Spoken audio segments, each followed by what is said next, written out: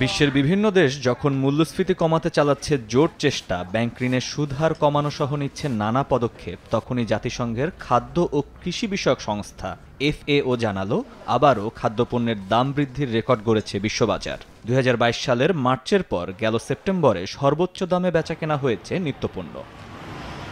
এফএওর মাসিক প্রতিবেদনে দেখা যাচ্ছে, গেল আগস্টের তুলনায় সেপ্টেম্বরে গম, ভুট্টা সহ দানাদার খাদ্যপণ্যের দাম তিন শতাংশ বেড়েছে। দাম বৃদ্ধির কারণ হিসাবে কানাডা ও ইউরোপীয় ইউনিয়নে ফসল উঠতে দেরি হওয়াকে দায়ী করা হয়।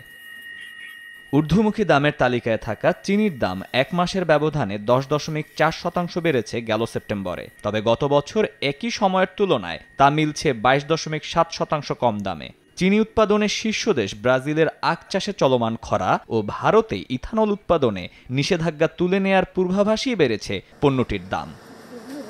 বিশ্ববাজারে ভোজ্য তেলের দাম দুই হাজার তেইশ সালের পর গেল সেপ্টেম্বরে হয়েছে সর্বোচ্চ। মাত্র এক মাসের ব্যবধানে সয়াবিন, পাম এবং সূর্যমুখী তেলের দাম বেড়েছে সাড়ে চার শতাংশের বেশি।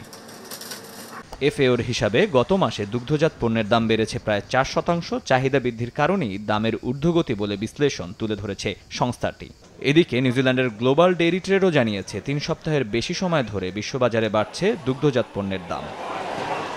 তবে মাংসের দামে সূচক ছিল কিছুটা সহনীয়। আগস্টের তুলনায় মাংসের দাম বেড়েছে দশমিক চার শতাংশ। তবে গত বছরের সেপ্টেম্বরের সঙ্গে তুলনা করলে এ দাম প্রায় পাঁচ শতাংশের বেশি। মহির মারুফ, সময় সংবাদ।